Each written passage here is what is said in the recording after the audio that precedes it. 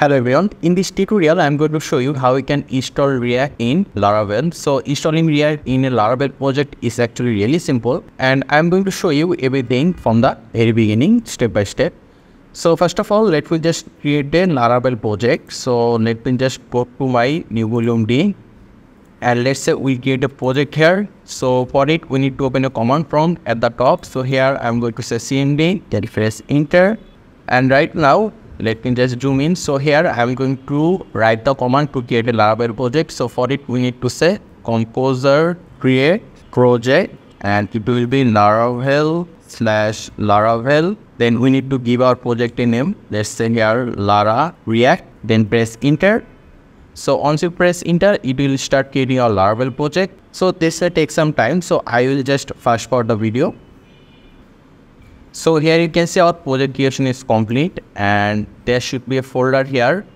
Uh, there you can see we have a project folder here called Lara React. So let me just go to the project directory. So in order to go to the project directory, we just need to say here cd Lara React and press enter. There you can see currently we are in the project directory. So in order to run the project, we just need to say here php artisan serve then press enter and it is running. So let me just copy this.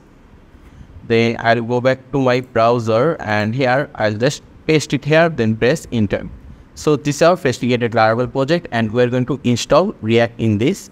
So for it uh, we are going to use Laravel Breeze. So using Laravel Breeze we can easily install React or Vue. So we are going to install the React. So for it let me just go down and here you can see you have a command here called composer require laravel slash breeze dash dash dev. So i'm going to copy this command. And after copying this command let's go back to our project location. So here you can see laravel react lara react. This is a project that we just created. So we'll go inside. Then we are going to again say here cmd then press enter there you can see currently we are in the project directory. So we are going to paste the command composer require laravel slash breeze dash dash dev and we'll press enter. So first of all we need to get the required file for laravel breeze. So it will take a minute. So again i'll just fast forward the video. And there you can see this done so after it let's go back to our browser. And here we have only command which is artisan breeze installed. So i'll copy this then let's go back to our command prompt. And let's paste the command. Artisan breeze install then we press enter. So here it will uh, give us a bunch of options. Here you can see blade with alpine livewire then uh, livewire volt functional api and here you can see react with inertia. So we need to choose this option. So in order to choose this option here you can see it says react. So we need to write here react. So also just write here then press enter. It will start installing react in our laravel project. So let me just press enter. And it will take you uh, which option would you like to choose? Let me just say here none. Then press enter. Okay will be capital none. Then let's say here let me just choose Pest. So for choosing Pest we need to say here zero. So i'll say zero then press enter. And there you go. It is installing. So installing may take a few minutes maybe one or two minutes. So i'll just fast forward the video. And there you can see our installation is complete. And you can see it created some JS file here. So right now, let me just open this project using Sublime Text or you can also use Visual Studio Code as well. So let me just go to my Sublime Text and here I'm going to click on File, then Open Folder. Our project was here, New Volume D and our project name was Lara React, this one. So I'll just select it and then click on Select Folder and there you can see it open. So right now, if I just go to my resource then views there you can see we have app.blade.php so this is the react component actually react code and if you go to our js you will see the component for react.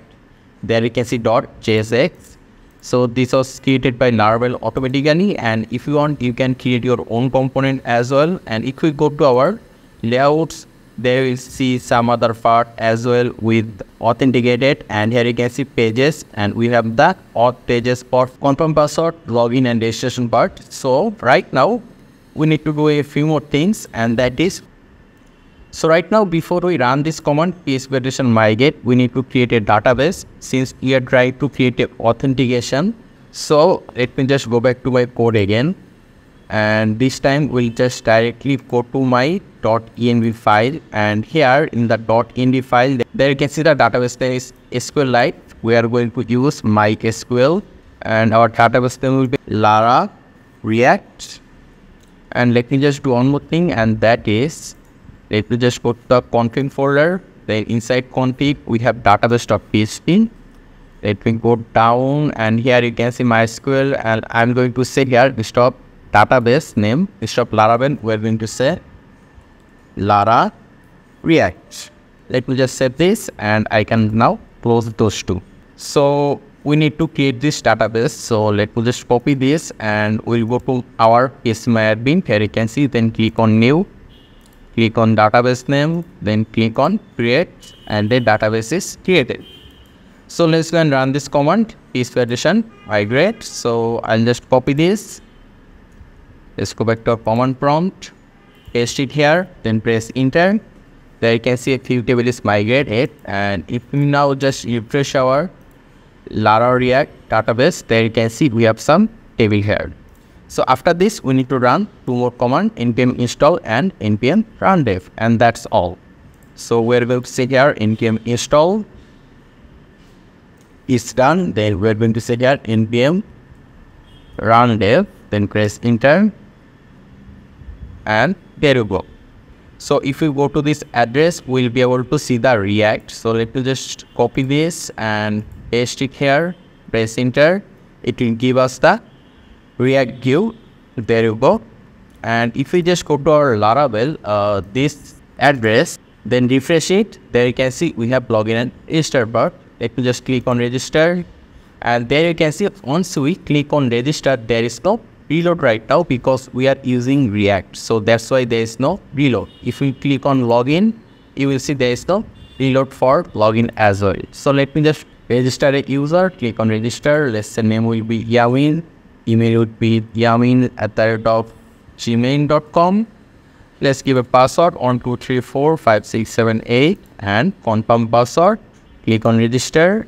There you can see it did not refresh our website so here you can see you are logged in so we are able to using react in our project so let me just go to my uh, resource then let's go to our layouts and there you can see authenticated layout.jsx and here you can see it says dashboard. Instead of dashboard let's say here my dashboard. Then just go back to our browser. There you can see it automatically update over here. And one more thing is that make sure that npm dev is running. Okay keep this part running and if you want to make some changes here as well you can do it as well. Let me just go back to our code again. And here you can see we have dashboard.jsx if you go there and here you can see it says you are logged in. Let's say you are logged in as a user. Set this and if we just go back to our browser there you can see it says you are logged in as a user. And there is no refresh here in our Laravel project. So this how you can install React in a Laravel project really easily and if you want you can create your own React component over here and do whatever you want with your Laravel project. So thank you very much for watching. If you have any question or suggestion just let me know in the comment section. Make sure to subscribe and I hope to see you in the future tutorials.